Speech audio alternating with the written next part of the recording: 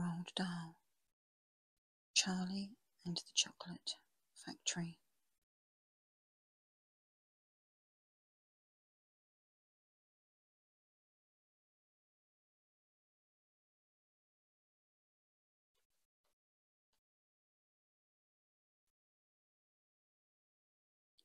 Roald Dahl was a spy, ace fighter pilot, chocolate historian, medical inventor. He was also the author of Charlie and the Chocolate Factory, Matilda, BFG, and many more brilliant stories. Quentin Blake has illustrated more than 300 books and was Roald Dahl's favourite illustrator. In 1980, he won the prestigious Kate Greenaway Medal.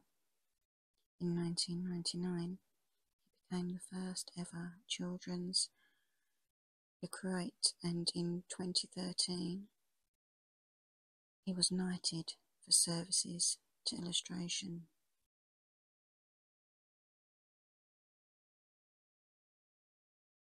Introducing Charlie Bucket, Augustus Gloop, Mr. Willy Wonka,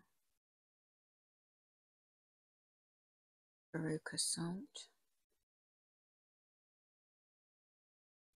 Mike Teavee.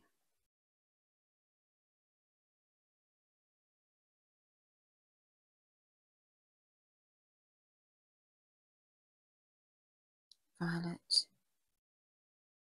Beauregarde, the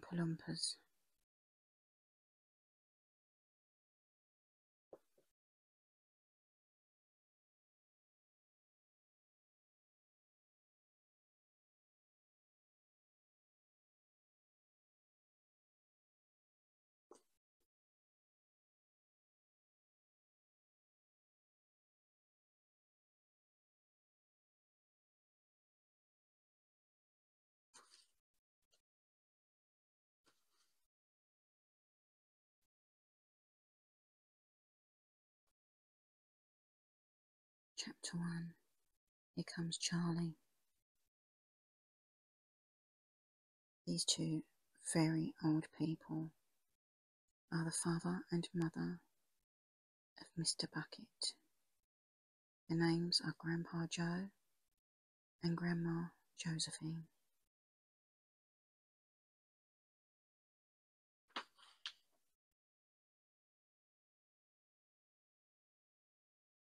And these two very old people are the father and mother of Mrs. Bucket. Their names are Grandpa George and Grandma Georgina.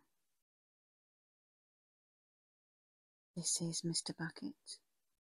This is Mrs. Bucket. Mr. and Mrs. Bucket have a small boy whose name is Charlie Bucket.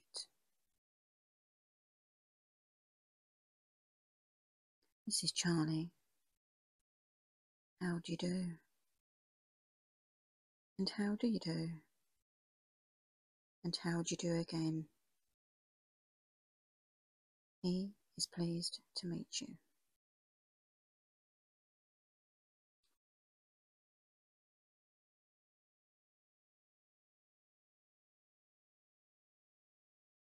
Whole of his family, the six grown ups.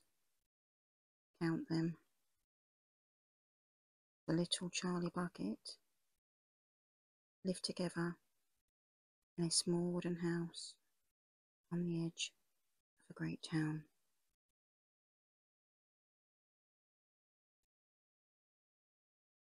The house wasn't nearly large enough for so many people and life was extremely uncomfortable for them all. There were only two rooms in the place altogether, and there was only one bed. The bed was given to the four old grandparents because they were so old and tired.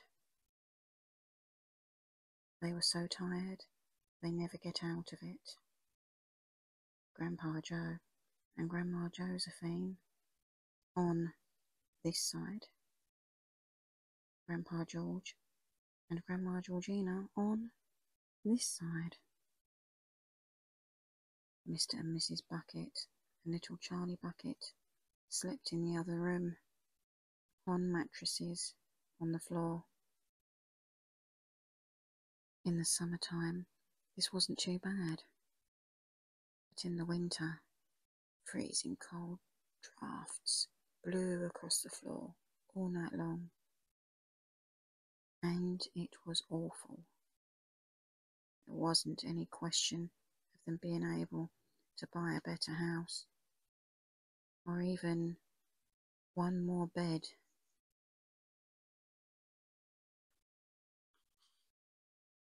to sleep in.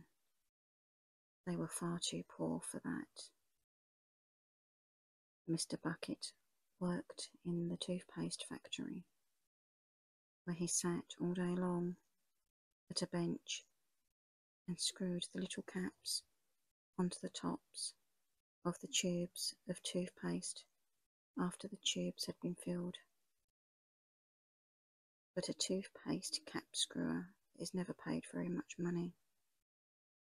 And poor Mr. Bucket, however hard he worked and however fast he screwed on the caps, was never able to make enough money to buy one half of the things that so large a family needed.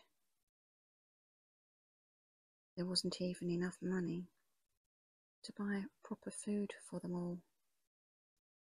Only meals they could afford were bread and margarine for breakfast, boiled potatoes and cabbage for lunch, and cabbage soups for supper.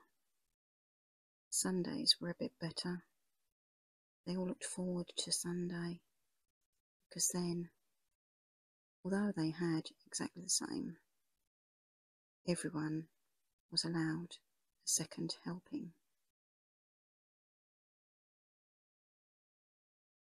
The buckets, of course, didn't starve, but every one of them the two old grandfathers, the two old grandmothers, Charlie's father and Charlie's mother, and especially little Charlie himself, went about from morning till night with a horrible, empty feeling in their tummies, which Charlie felt is worst of all. And although his father and mother often went without their own share of lunch or supper, so that they could give it to him. It still wasn't nearly enough for a growing boy. Desperately wanted something more filling and satisfying than cabbage and cabbage soup. The one thing he longed for more than anything else was chocolate. Walking to school in the mornings, Charlie could see great slabs of chocolate piled up high in the shop windows, and he would stop and stare and press his nose against the glass. His mouth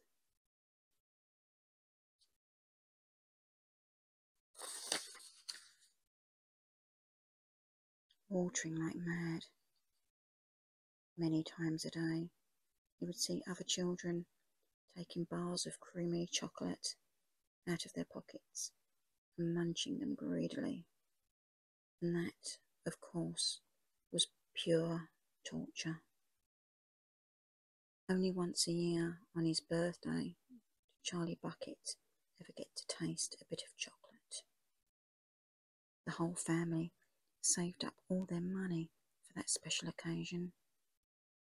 And when the great day arrived, Charlie was always presented with one small chocolate bar to eat all by himself. And each time he received it, on those marvellous birthday mornings, he would place it carefully in a small wooden box that he owned and treasure it as though it were a bar of solid gold. And for the next few days he would allow himself only to look at it, but never to touch it. Then, at last, he could stand it no longer.